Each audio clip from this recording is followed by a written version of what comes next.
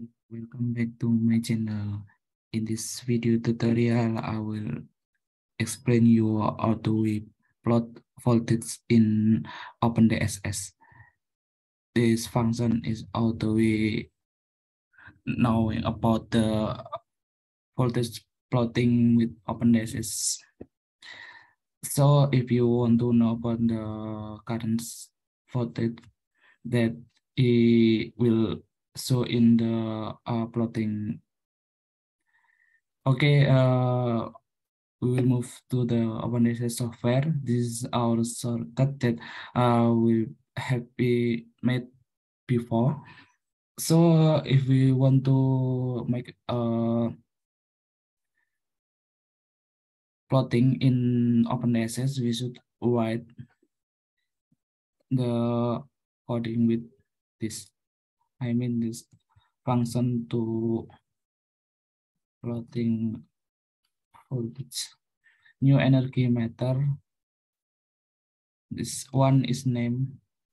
If you want to uh, rename plotting element element one terminal, and then we are running this simulation of uh, PNSS uh, control D. This is the result and we move to the PD element. Uh, this PD element we should choose the length because uh, we want to know about the element length to uh, voltage plotting and uh, I choose line one and then we move plot and profile. So this this is uh, uh my is about the voltage profile in bus T and bus four, and this is in uh minimum maximum, and also this is uh, uh bus one, bus two. And then this result is uh, very good because the voltage fed in a one per unit system.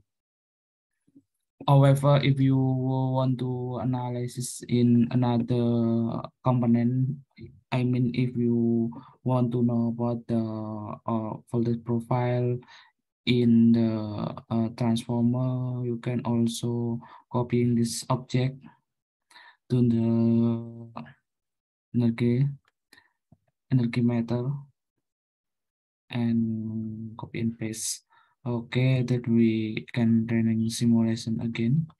Um, and we move to the PD element, this PD element, uh, we should choose the transformer and trafo one. And then we move to plot and mod profile for this. So I think this is the uh, for the profile in the uh, uh, transformer one. And the result is very good uh, uh, regarding of the uh, running simulation voltage in the transformer. Okay, I think you know from this tutorial and see you on my next video.